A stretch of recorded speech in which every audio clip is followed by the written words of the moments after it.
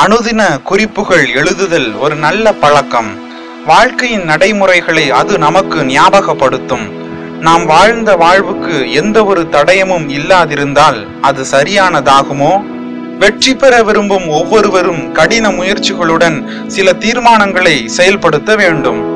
Titus cone Hawaii தீவுகளுக்கு ஆயிரத்தி எண்ணூற்றி முப்பத்தி ஐந்தாம் ஆண்டு தன் ஊழிய பயணத்தை மேற்கொண்டார். ஊழியமானது அவரது வித்தியாசமான முயற்சியால் துரிதமாக வளர்ந்தது. ஆயிரத்தி எண்ணூற்றி எழுபதாம் வருடத்தில் அவரது சபை பதிமூன்றாயிரம் மக்களை உள்ளடக்கியதாக காணப்பட்டது. இவரின் ஊழியத்தின் ரகசியம் என்ன தெரியுமா? ஒவ்வொரு மக்களின் தனிப்பட்ட நிலைமைகளையும் இவர் நன்கு அறிந்திருந்தார். அவர்களை குறித்த முழு விவரங்களையும் அவர் சேகரித்து வைத்திருந்தார்.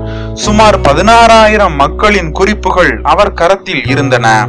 டைட்டஸ் கோன் எங்கெல்லாம் பிரசங்கித்தாரோ அங்கெல்லாம் மக்கள் கூட்டம் அலை மோதியது. ஆன்மீக விழிப்புணர்ச்சி ஏற்பட்டது. மக்கள் ஆண்டவரின் இரக்கத்திற்காக கதறி அழுது வேண்டுதல் செய்தனர். வசனத்திற்காக பல மணி நேரங்கள் தாகத்தோடு காத்து கிடந்தனர். கடின இதயங்கள் உடைந்து விழுந்தன. பல ஆயிரக்கணக்கானோர் தீய வழிகளை விட்டு மனம் திரும்பினர்.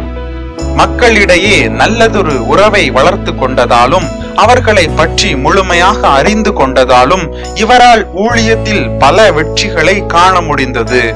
பல கட்டுரைகளை எழுதி வெளியிட்டார். அவை இன்றும் ஆயிரக்கணக்கானோரை கிறிஸ்துவிடம் வழி நடத்துகின்றன ஹவாய் மக்களிடம் இறுதி வரை ஊழியம் செய்த இவர் அங்கேயே மறித்து தன் வாழ்வினால் மிகுந்த பலன் பெறச் செய்தார்.